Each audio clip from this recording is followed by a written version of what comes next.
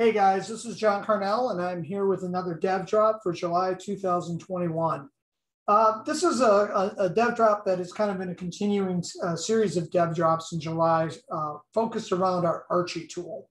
Now, if you remember, Archy is our command line tool that we can use to take the graphical representation of an architect call flow and translate it into a human readable file format that can then be exported and imported into another Genesys Cloud org. So what we're going to do now is in the first video of the DevDrop series, I showed you how to set up and configure Archy. Um, in the second, I showed you how to take a uh, Archy or an architect flow and use Archy to export it. And in this video, I'm going to show you how to take uh, Archy and import the flow into a brand new Genesys Cloud org. So as you guys can see, I have a blank, uh, no inbound emails in a brand new org.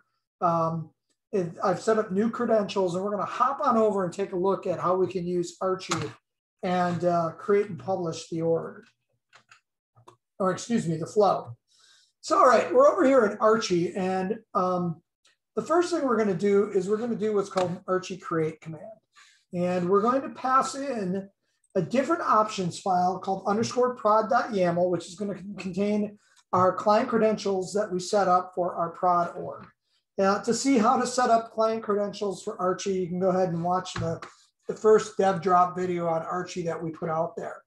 So it's pretty simple. What we're going to do is we're going to go out and we're going to do an Archy create. We're going to pass in the name of the YAML file that we uh, export it. And then we're going to use a dash dash option file and pass in the options file containing our credentials. Pretty simple, pretty straightforward. Nope. Hold on.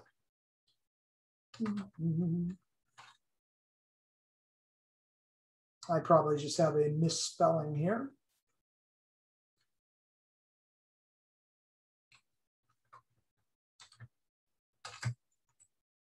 I'm actually in the wrong directory, excuse me. All right, let's go ahead and run this again. All right, so we're gonna go ahead and it's gonna connect with our credentials. You can see the client ID and the secret. And you can see a lot of work. And depending on the size of the flow, it could take several minutes to process and import the flow. Our flow is relatively small, so it's gonna it's not gonna take a lot of time. So let's go ahead and now go back to our web browser. And in there, we can see that we have an email flow out there. It's been checked in at version 1.0 and it's been, uh, it hasn't been published yet. Now, when a flow hasn't been published, that means it's not available to actually process requests. Now, normally in the UI, to be able to publish a flow, you would, after you create it, you would edit it, and then you would go through and you would hit the publish button. We're not going to do that. Instead, what we're going to do is we're going to come back here, or I'm going to leave this here. I'm going to go back, come back into my flow, and I am going to try to create my flow again. Now this time we should see an error message indicating that the version of the flow that we're trying to create already exists. So now what Archy can do is you can tell Archy to go and delete the old flow and recreate the, the flow from scratch from your YAML file. And to do that, you can pass in an Archy create and then just pass in the recreate command. And what that's essentially going to do is before Archy does anything, it deletes the old flow and then creates a new one. Now you have to be really, really careful with this because if you delete a flow that already is in existence, you can cause an outage if one, the, the recreation of the, the YAML file has changed and you haven't tested it. Or two, for that brief period of time when the flow is deleted and the new flow is being recreated, that flow is not there to process calls or not there to process emails. So just be aware of it. So we're just going to go ahead. We're going to call recreate and away we go. Oh, I'm still unlocked. So uh, the error message that you're seeing here is I'm still in there editing the flow. I've had somebody actually in there and editing the flow. So what I can do is I can force an unlock when I try to recreate or publish the flow, and that will basically break the lock of whoever was editing this. Now, in reality, when you are publishing between environments, you're probably going to want to do this anyways, because nobody should be going in if you're truly in a CI CD pipeline and editing the flow anywhere outside other than dev. Then they, what they should be doing is exporting that flow from dev and then having it promote through the CI CD pipeline. So we're going to go ahead and do a force unlock. And we're going to go ahead and recreate it. Okay, so now we've broken the lock, we've deleted it, and now we're recreating the flow.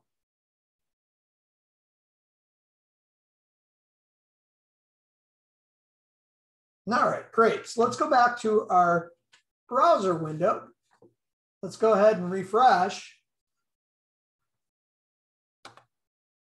And we're going to see, hey, this flow is deleted because this particular flow that we were looking at had its own unique ID at the time we ran Archy. And so as a result of that, the flow has been deleted.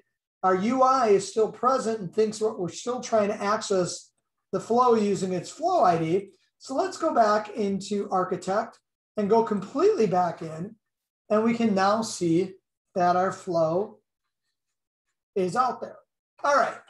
So to build a CI CD pipeline, though, we don't want to go out there and ever have to manually touch the flow to publish it. Instead, what we would like to do is either create the flow and then publish it, or just publish the flow as soon as it's created. So let's go walk through the Archy publish command. I'm going to go ahead, I'm going to go ahead and delete this particular flow, and we're going to pop back to my command line window. All right. And we're now going to create an Archy publish.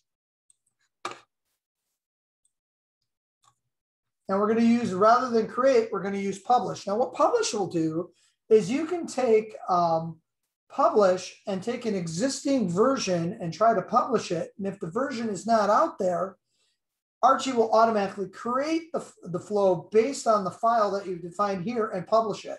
Since we deleted our flow, we're going to skip the create step. We're going to let Archy take care of it by doing an Archy publish and then passing in the file and then the options file. All right.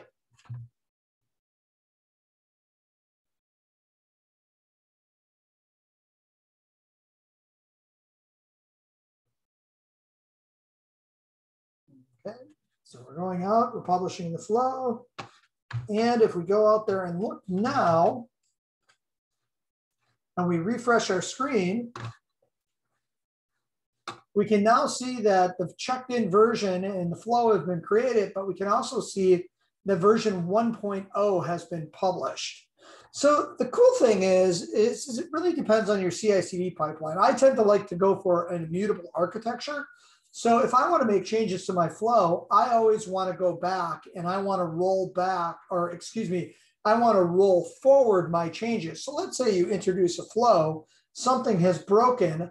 I would fix the flow back in dev and then be able to go out and publish all the way through my CI CD pipeline to make sure that my architecture remains immutable. However, if you're in a situation where you've published a bad flow and you need to roll back, you can always go back and try a different, uh, basically roll back to a different version and republish that version. So you can go out and you can say, okay, there's no previous versions here. It's version 1.0, but I can choose a different version. Let's say I had 10 versions. I just had Archy roll flow out, it breaks. I can go out and I could do a rollback sequence either via Archy telling it to publish version nine because 10 had problems, or I could go into the UI and I could say, go back to the previous version in here. All right, you guys, that pretty much uh, ends the, our discussion on Archy. And it's a very, very high level discussion uh, with Archy in terms of the exports and the importing of flows. I would really encourage you to take a look at our developer center in genesys.cloud and look at our dev apps. And in there, you can find the complete documentation for Archy. There's a lot of really, really good stuff out here. A lot of stuff about being able to script with Archy, frequently asked questions. Also talks about how you can parameterize Archy with environment variables. So some really, really good information. Well, thanks everyone. I hope you enjoyed this dev drop series. Um, there's going to be one more dev drop in this series about how to take Archy and integrate it to Terraform. Please provide feedback. We always welcome it. We're always looking for new comments and questions. Feedback can be dropped on the forum. So thanks and everybody have a good day.